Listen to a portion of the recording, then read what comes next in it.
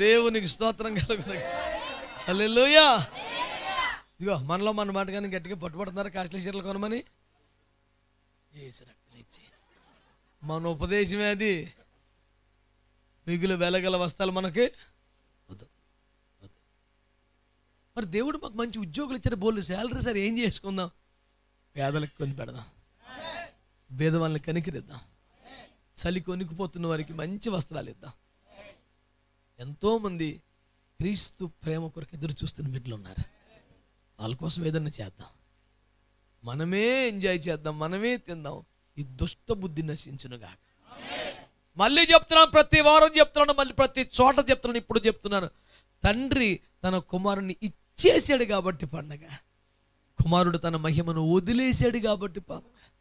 ఏదైనా ఇస్తేనే ఏదైనా వదులుకుంటేనే క్రిస్మస్ పండగ. ఏదైనా కొనుక్కుంటే ఏదైనా తినేస్తే కాదా? ఎన్ని పాడుగాను పద్దాకి ఇదే పని ప్రతి వాడికి అర్ధరాత్రి లపరాత్రులు లడ్డు తినేసి హ్యాపీ క్రిస్మస్ కాదు. వదిలేసి క్రిస్మస్ చెప్పు. నీ తిండి ఇంకొకటి పెట్టి చెప్పు. నీ వస్తువు ఇంకొకటి ఇచ్చి చెప్పు అదే పండగంటే. నువ్వు నువ్వే తినేసి. మూడు సొక్కాలు మళ్ళీ కోట్లు. అమ్మ చేద్దరు. ఎన్ని చేసుకుంటారు నువ్వు?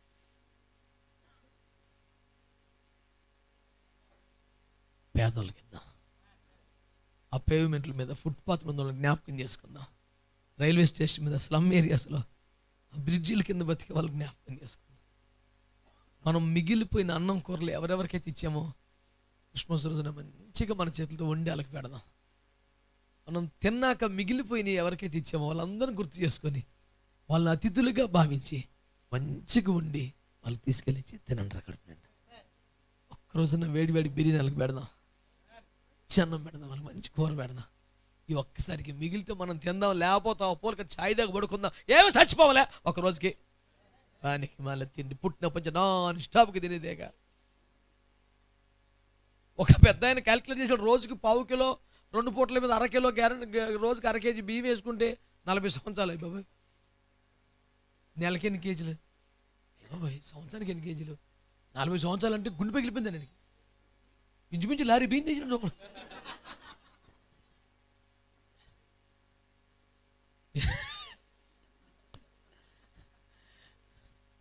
నాజుగ్గా సింపుల్గా ఎంత తింటేనే సంవత్సరం నలభై సంవత్సరాలకి.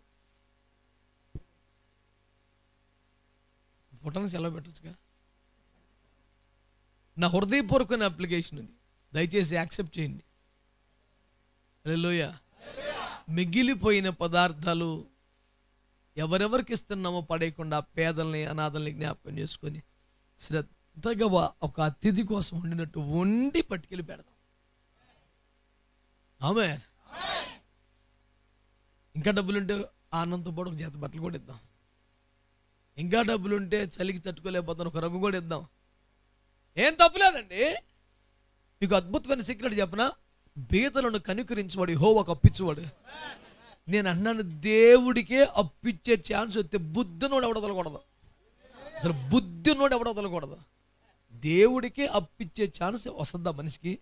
అటు వస్తే వదిలినోడు బుద్ధినోడు అవుతాడు కొంచెం ఉన్న బుద్ధి ఉంటే ప్రభు నన్ను క్షమించి ఆశీర్దించు కొంచెం అన్న బుద్ధి ఉంటే ఈ ఛాన్స్ వదలకూడదు. ఏదైనా ఒక ముఖ్యమంత్రి గారు మన ఇంటికి వచ్చి గబుక్కుని పరసపడిపోయింది వంద రూపాయలు ఇస్తారంటే మనకి ఎలా ఉంటుంది? అయ్యి బాబోయ్ అసలు వందేంటి? ఏ రక్తం ఇచ్చే రెండు వేల రూపాయలు నోటు పెట్ట పెట్టలేదు కాదు చేతిలో పెట్టి. థ్యాంక్ యూ జీసస్ ఇప్పుడు దేవుడికి అప్పించే ఛాన్స్ వచ్చింది. ఎలా? బీదలను కనికరించడం వల్ల ఇంకా అసలు ఛాన్స్ వదలకూడదు మనం అంతే. అవసరమైతే చేతులు నిండా బిర్యానీ ప్యాకెట్లు పట్టుకొని జంటల నుంచి అడుక్కునే వాళ్ళకి తిప్పలు పట్టుకుని అందరికి కేకేసి వేడిపడి పట్లం ఇచ్చి మళ్ళీ అదే రోజు కూడా పులిహేర పట్లం కట్టకండి చిరగ్గా. కొంతమందికి బహు బహు పిసినారి బుద్ధి పాడుగాను. తనకి అంటే సూపరు. పెట్టుబడి అనగానే నాకైతే నేను ఫస్ట్ ప్రతి సంవత్సరం చాలా వందల వందల చీరలు ఇవన్నీ కొంటాం. పంచిపెట్టడానికి పే పేదల కోసం. ఆ షాప్కి వెళ్ళగానే పెట్టుబడి చీరలు అంటాడు తిట్టి. నేను పెడతాను కొనుక్కుంటా నీకు ఎందుకా? నువ్వు మంచి చీరలు ఇవ్వచ్చు అలాగా సార్ పెట్టుబడి చీరలు అది వేరు అది ఆ పక్కన. అదేట్రా?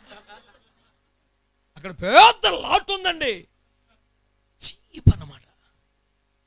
ఆరు మీటర్లు ఉతికేసి ఆరేస్తే ఐదు మీటర్లు అయిపోతుంది అది పెట్టుబడి. ఎంత మోసం అండి. వద్దండి.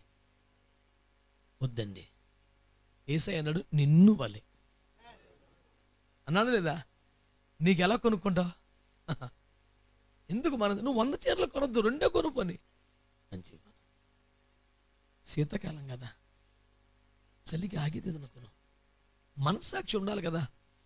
దుప్పట్లు పంపినంటే ఆ దుప్పట్లే టవల్ కన్నా ఘోరంగా పలసగా ఉంటే ఏటే దుప్పట. శీతాకాలం కదా చలి ఆపద్దా?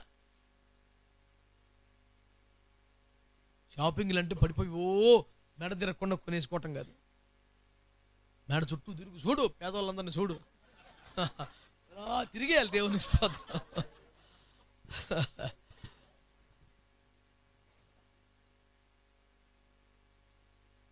పొరుగువానిపై ప్రేమ చూపని నీది క్రైస్తవమా? ఏది క్రైస్తవము? ఎప్పుడుది? శాస్త్రి గారి పాట చేయాలి మనం. కనుక అవకాశాన్ని పాడు చేయకండి సద్వినియోగం చేయండి ఫుల్గా షాపింగ్ చేయండి అందరికి పంచేయండి దేవునికి ఇస్తాం దట్ ఈస్ రియల్ క్రిస్మస్ తండ్రి తన సొంత కొడుకుని ఇచ్చాడు సార్ జత బట్టలు ఇస్తేమని సార్? ఏకైక కొడుకుని ఇచ్చేసాడండి లోకం కోసం. ఆయన తన మహిమను వదిలేశాడు. ఒక సుఖం వదులుకుందాం ఒక సౌభాగ్యం వదులుకున్నాం ఈ పండగ సందర్భంగా ఈ సౌకర్యాన్ని నేను వదులుకుంటున్నాను. ఇక మీద ఈ సుఖభోగాన్ని వదులుకుంటాను. ఇక మీద ఈ యొక్క ఫెసిలిటీని వాడుకోను. అది కదా. అంతే క్రిస్మస్ అంటే. బాబాయ్ రోజు వంకాయ కూర బెండకాయ కూర బీరకాయ కూర అలా గడిచిపోద్ది. ఆ రోజు మటుకు ఐదారు కూరలు ఒకడవే